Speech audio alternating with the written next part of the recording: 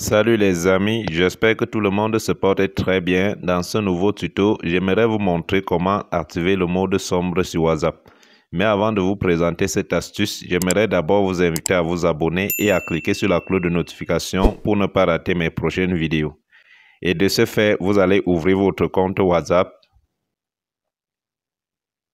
Une fois dans votre compte WhatsApp, vous allez venir sur les trois petits points en haut à droite, vous validez sur ces trois petits points. Vous allez continuer en validant sur paramètres. Et à ce niveau, vous défilez vers le bas. Vous allez voir là où c'est marqué discussion. Vous validez sur discussion. Et vous validez ensuite sur thème. Et ici, vous allez voir, il y a trois thèmes. Il y a thème par défaut du système. Il y a le thème clair. Il y a le thème sombre. Vous validez sur sombre. Vous activez le thème sombre et vous continuez en validant sur OK. Voilà, le mode sombre est activé. À partir de ce moment, vous pouvez utiliser WhatsApp avec le thème sombre. C'est très très bien parce que pour ceux qui ont les problèmes des yeux, c'est toujours bien d'utiliser WhatsApp en mode sombre. Regardez bien.